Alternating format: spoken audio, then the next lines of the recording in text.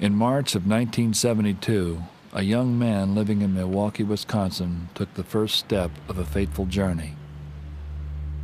Now I start my diary, Arthur Bremer wrote, of my personal plot to kill by pistol either Richard Nixon or George Wallace. From uh, his earliest, pretty sad childhood, Arthur Bremer was this pathetic loner, isolated. Uh, he had no friends. He grew up, uh, went to Milwaukee uh, primary, secondary school. Uh, was always considered to be, as uh, people said, weird, a weird individual who clearly was probably mentally ill. No one ever noticed me nor took interest in me as an individual with the need to receive and give love. In junior high school, I was an object of pure ridicule for my dress, withdrawal, and asocial manner. Dozens of times I saw individuals laugh and smile more in 10 to 15 minutes than I did in all my life up to then.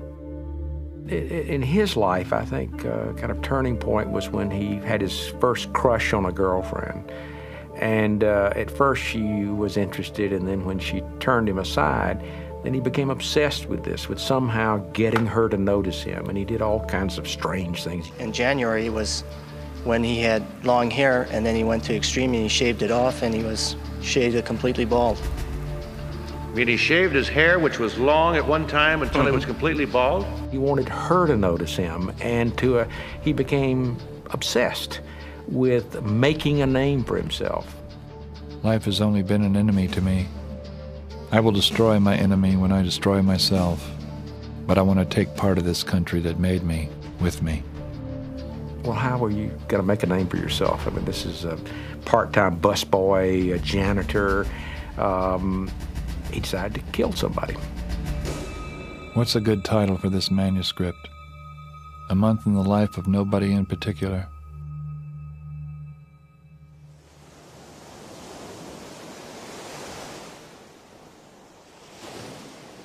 George Wallace's 1972 run for the presidency began with a Democratic primary in Florida.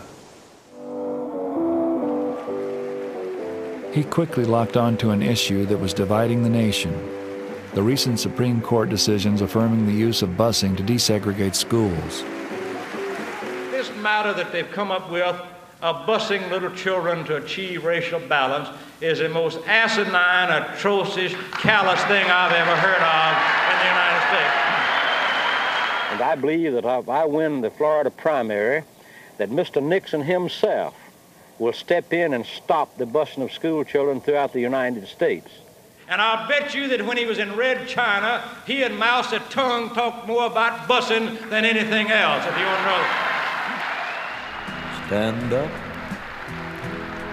for America, little man.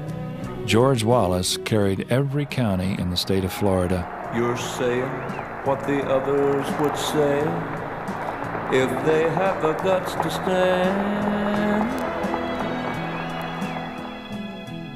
Listen, rich. Listen, poor. Let's put little George inside the White House door. The average citizen has spoken in the state of Florida. They're going to speak throughout the United States. I'm a serious candidate for the presidency on the Democratic ticket in the primaries, and it looks like we're going to Miami with the greatest number of delegates. Thank you very much. The Florida primary sent him out of there with a, just like on a rocket for the 1972 presidential elections. Less than 48 hours after Wallace's victory, President Nixon addressed the nation. I am sending a special message to the Congress tomorrow. I shall propose legislation that would call an immediate halt to all new busing orders by federal courts, a moratorium on new busing.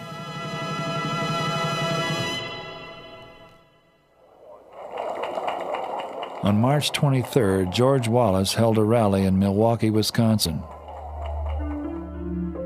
Arthur Bremer was there. I figured Wallace would be dead or dying now if I wanted it so.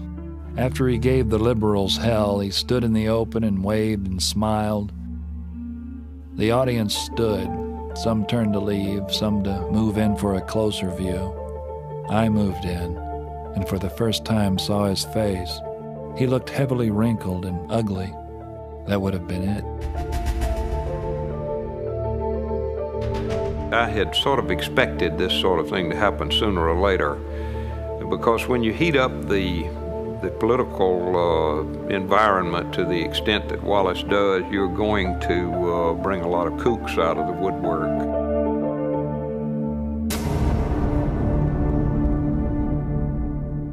He always had told me that he realized he might be shot running for president. He, that was very real to him, and he said, I, I realized that might happen. But he always believed it would be a head injury and that he would die. May 13th, 1972. Arrived at Dearborn Youth Center at 15 after 6. The hall was packed. You just can't go around preaching hatred, however you cloak it, uh, however you dress it up. And somehow or another it will not come back to bite you. Two 15 year old girls had gotten in front of me. Their faces were one inch from the glass that would shatter with a blunt nosed bullet. They were sure to be blinded and disfigured. I let Wallace go, only to spare those two stupid, innocent, delighted kids. We pounded on the window together at the governor. There'd be other times.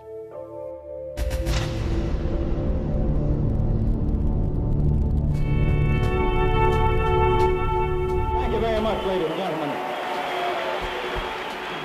The momentum from Wallace's Florida win had continued to grow. He took a strong second in Wisconsin after only eight days of campaigning. We've come a long way from eight years ago when uh, the Democratic candidate uh, called me something evil because I advocated that which he advocates now. And I think that by the time we get to November, some of the leadership is going to be saying, well, you know, uh, I just didn't understand Wallace. He's really a better fellow than I thought. I really didn't know him so well. Next was another strong second in Pennsylvania. Higher poll numbers and overflowing crowds. Soon, the press predicted more Wallace victories in upcoming elections. On the morning of May 15th, Wallace departed for his last day of campaigning in the Maryland primary. When we left the governor's mansion that day, my husband had already started talking about he was nervous. He was just extremely nervous. And he just kept saying, I don't think I'm going to go. I just don't think I'm going to make this trip. He said, one more day of campaigning is not going to make any difference. If I haven't won it now, I'll, I can't win it with one day of campaigning.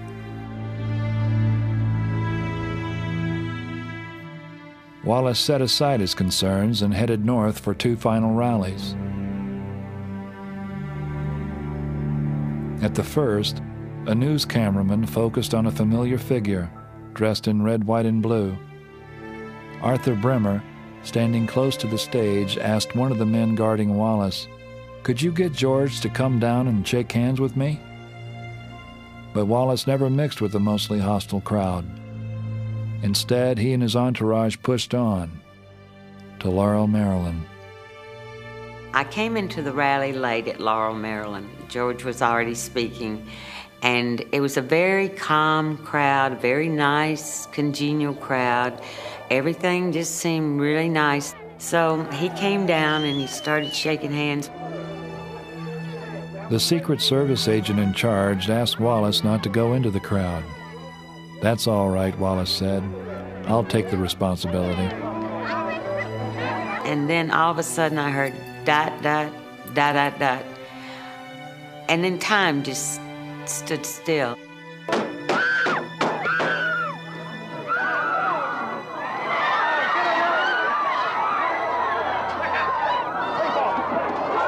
I thought they'd shoot him again, and so I jumped on top of him, trying to cover up his head and his heart and his vital organs, his lungs. And uh, there just wasn't anybody around him. Well, The Alabama bodyguard had been shot and blown out, knocked down. The Secret Service agent that was, these two were supposed to protect his body, got shot in the jaw and was vomiting and vomiting blood. So I just kept saying, uh, he, he was dazed and he didn't speak, and I kept saying, George, I'm going to take you home, I'm going to take you home. And uh, we're going home now. And uh, finally, all of a sudden, somebody was pulling me away from him. I kept begging him. I said, "Let, don't take me away from my husband now. Please don't take me away from my husband now." That's all the damn place you want to see. Ladies and gentlemen, please back up. Give the Secret Service and the doctor. I was able to get in the ambulance, and they put George in, and the Alabama State Trooper Dothard in on another stretcher.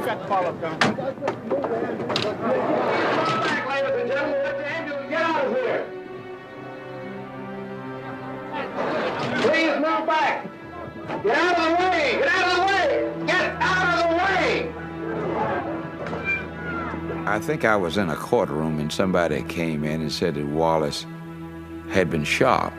There were all around Selma that day folk who disliked George Wallace intensely were praying that he recover. They didn't want him dead, uh, and that they, there, there was no rejoicing among black Alabamians that George Wallace had been shot, but there was a lot of the chickens have come home to roost. You heard that everywhere. Wallace, by the mid 1960s, was certainly aware that he was a figure in danger. That is, we'd had the assassination of, of Kennedy, the two Kennedy brothers, and Martin Luther King, and he often talked about the danger that he had. But I think he always anticipated the kind of uh, political ideologue, somebody who opposed him, uh, um, finding him at some moment and shooting him. George Wallace, the most intensely ideological political candidate of the 1960s, ends up being shot by somebody who just wants to get his picture on the front page of the New York Times.